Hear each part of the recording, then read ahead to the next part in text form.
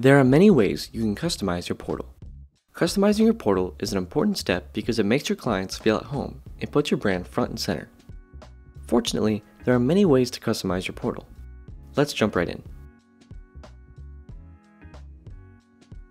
You can navigate to the Customizations page by clicking on Portal, then Customization.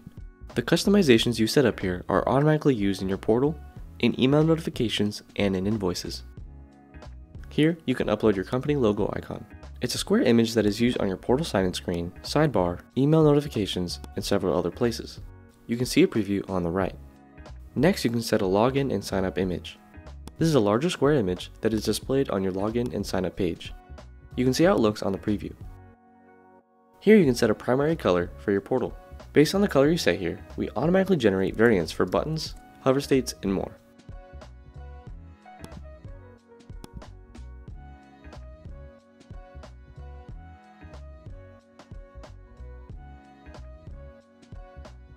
You can set up your welcome message on Settings, Messaging.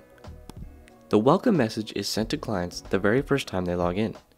We recommend you customize it to introduce your business to your client and set expectations around how you want them to use your portal.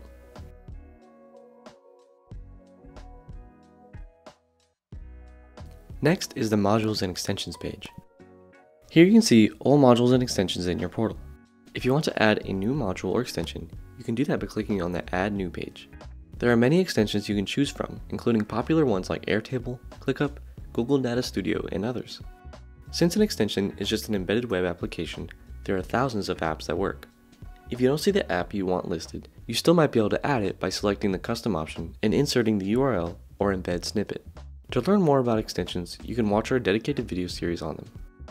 If you want to remove an existing module or extension, you can click on the Actions button and select Disable.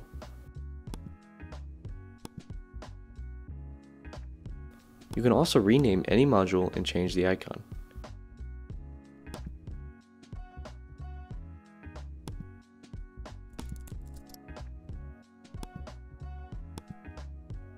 The module you move to the top becomes the default page for clients. By default, messaging is the top module, but if you have a dashboard or other type of homepage, we recommend that you make that the default page.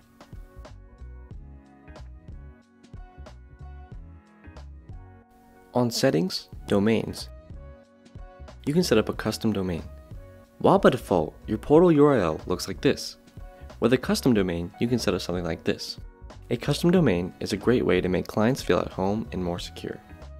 You can also customize the email domain. This changes the sender that is used to deliver email notifications to your clients. A custom email domain is a great way to improve email deliverability, so that emails don't end up in your client's spam folder.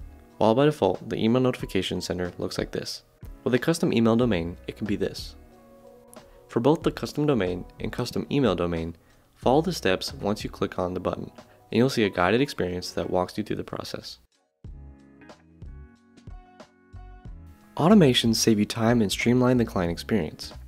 For example, you can set up an automation so that every time a new client signs up on their own, they are automatically assigned an intake form. There's infinitely many other automations you can set up. On the Settings API page, you create an API key and webhooks. You can use the API directly or use Zapier if you prefer a no-code way of setting up automations. If you are interested in automations, we recommend you go to our Zapier page, read our documentation, or watch our video series focused on the API.